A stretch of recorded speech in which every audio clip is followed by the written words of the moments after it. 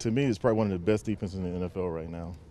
Pass rushers up front, linebackers are good, DBs are good. So, got to do a great job, protect the quarterback, get open at the receiver spot.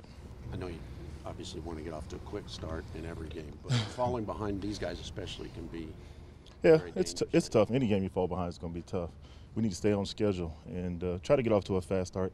I think we did decent last week. Uh, started a little bit slow, but as we started to get going, everybody got comfortable. We played well. Just didn't put the ball in the end zone. Just have to do a better job of executing, not jumping off sides in the red zone, and uh, just kind of putting the ball in the end zone. Don't rely on the field goal kicker, who's off, but hey, we know he's going to do better than that. You know, Kerwynn is a guy that I'm happy for.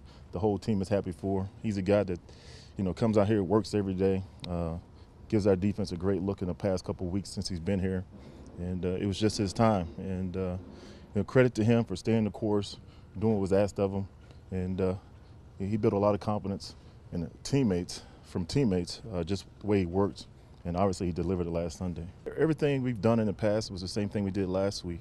I just think guys, uh, you know, took it upon themselves after the last two weeks and losing, and uh, you know, hearing you guys talk about it in the media all the time. You got to man up, and hopefully that we continue to man up and do a great job on Thursday night. But all it is is a mindset from the running back. It's a mindset from the blockers, and uh, good things will happen. You know, we can't hit a home run every time, but we just want four yards or more every time we run it, and no negative runs. Last week was a good week, so we graded out pretty well. You got to you got to take it in, into uh, consideration. They're playing hot. They're at home. It's going to be loud. They should have a decent crowd, and uh, we beat them once, so I'm sure they're going to want, want revenge. But we got to be up to the task of uh, doing what we need to do to make sure we come out with a victory. But they're they're a hot defense right now, and we respect that. We practice with crowd noise. We know it's going to be loud.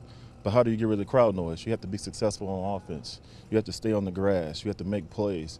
And the previous two road games, we haven't done that. We have to do that this time. Atlanta, we didn't do it, and obviously in Seattle, we didn't do it. We have to be effective on offense. We have to be efficient on offense. That will take the crowd out of the game. We got to help our defense out, give them some rest, and we got to put points on the board. Did not do that in the last two road games. Got to do it this uh, this Thursday.